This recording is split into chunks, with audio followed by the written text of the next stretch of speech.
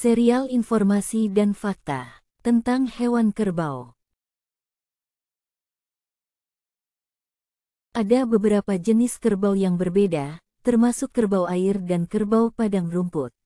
Kerbau air, seperti namanya, lebih suka hidup di air dan sering digunakan untuk pertanian di daerah rawa-rawa, sedangkan kerbau padang rumput lebih sering ditemukan di daerah yang lebih kering.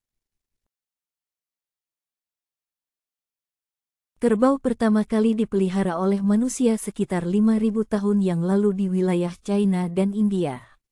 Kerbau telah menjadi bagian integral dari kehidupan sehari-hari di Asia selama ribuan tahun, digunakan sebagai sumber tenaga, transportasi, dan pangan.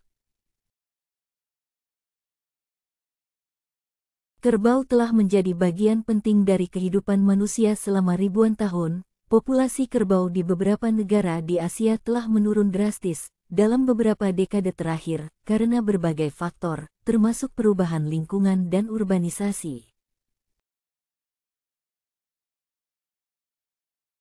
Meskipun kerbau sering dianggap sebagai hewan yang lambat dan malas, ternyata mereka dapat berlari dengan kecepatan hingga 40 km per jam, lebih cepat daripada manusia.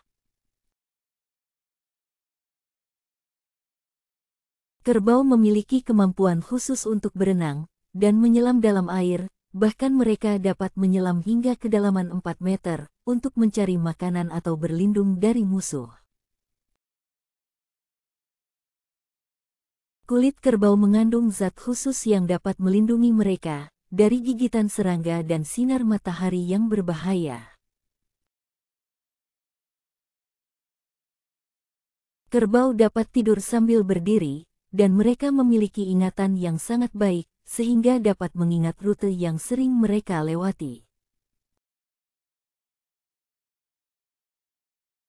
Beberapa spesies kerbau dapat berkomunikasi dengan bahasa tubuh dan ekspresi wajah yang kompleks, seperti mengangkat alis dan menggerakkan telinga untuk menunjukkan perasaan tertentu.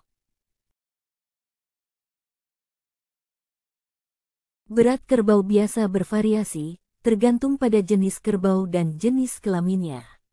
Rata-rata, kerbau jantan dewasa dapat mencapai berat sekitar 600 kg sampai 1200 kg, sementara kerbau betina dewasa biasanya memiliki berat sekitar 400 kg sampai 700 kg. Ada beberapa jenis kerbau yang dapat mencapai berat hingga lebih dari 1500 kg.